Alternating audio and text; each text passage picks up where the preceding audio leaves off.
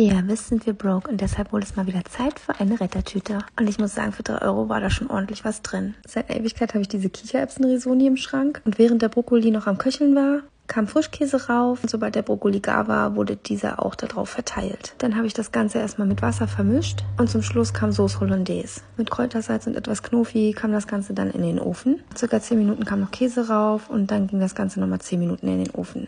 Ja, und ich sage euch, das schmeckte so mega lecker.